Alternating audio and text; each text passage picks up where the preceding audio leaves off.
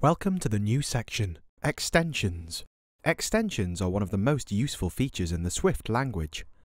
In this section, we'll define an extension, take a look at protocol extensions and text validation. Towards the end, we'll see extensions with the Swift standard library and equatable protocol. Now, let's move on to the first video of the section, defining an extension.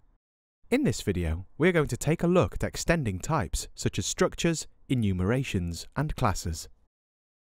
The extension keyword followed by the name of the type you are extending.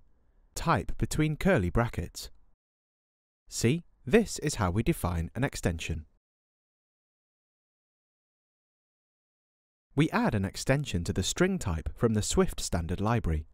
While we can use extensions to add functionality to our own custom types, it is usually better to add the functionality directly to the type itself. This way, our code is easier to maintain. Let's see how we can add functionality to a standard Swift type using an extension.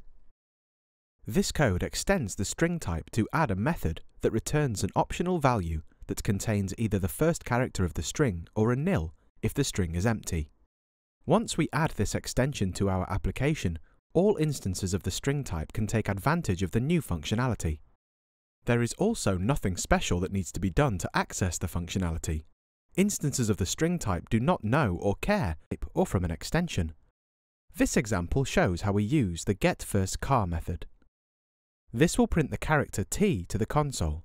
It is just as easy to add other functionality such as subscripts to existing types. This is how we would add a subscript to our string extension that accepts a range operator and returns a substring with the characters defined by the range operator. This is character t. If we wanted to extend the integer type to add a method that would return the value of the integer squared, we could do it with an extension like this. We could then use this extension to get the value of any integer squared. See? 6 squared to 36. Another example would be to extend the double type to add a method that would convert the value of the double to a string type representing the value as a currency.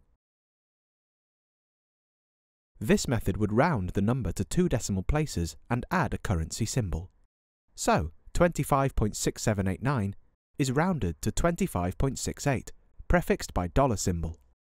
We cannot add stored properties with extensions. However, we can add computed properties, Earlier, we added a method named squared to the integer type. We could have implemented this functionality as a computed property, as shown here. The result is the same. Now that we have seen how to extend a standard type such as classes, enumerations, or structures,